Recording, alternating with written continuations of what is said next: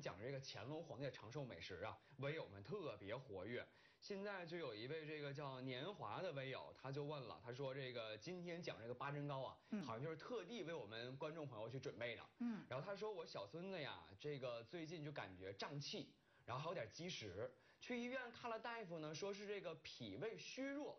然后他就想为这个小孙子也做这个八珍糕，嗯，但是不知道有没有什么注意的地方。呃，在这儿我要跟这位叫年华的微友说一下啊，我们这道八珍糕老少皆宜，而且今天我也说了，它特别适合脾胃虚弱的人。那由于您呢是要想做给小孙子吃，那我就在。乾隆皇帝的南版八珍糕的基础上，给您做一下更改。您可以把白扁豆换成杏仁儿。八珍糕呢，它是一个阴阳双调的方子，对于调理小孩子的脾胃虚弱，效果真的是非常好。所以呢，您可以根据孩子的情况做一个相应的调整。我这次给您的是加味八珍糕。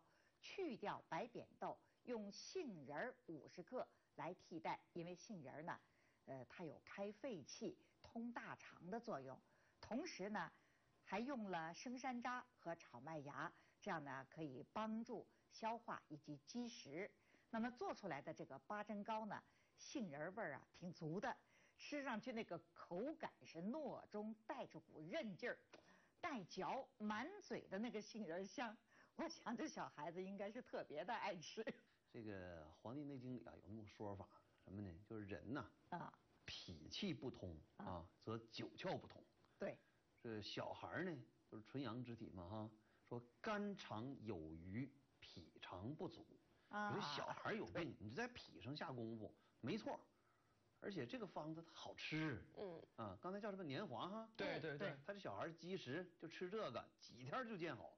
而且一直吃，小孩口还壮，能吃，而且排便还好。你们没带过孩子，嗯嗯，你们不知道我刚才说这几条对于老人来讲多重要。嗯啊，是按这方法走，没错。对，刚刚呢，阮老师就根据不同的情况，给我们刚才那位微友就做了一个定向的调整。如果您也想知道属于您自己的八珍糕，您也可以随时添加我们的栏目微信，关注我们的电子菜单。我们会把完整的食材搭配以及烹饪方式第一时间发给您。电视机前的观众朋友们，如果您也有属于自己的一道养生菜，您也可以立即扫描屏幕上方二维码发给我们，我们将会为您归纳到。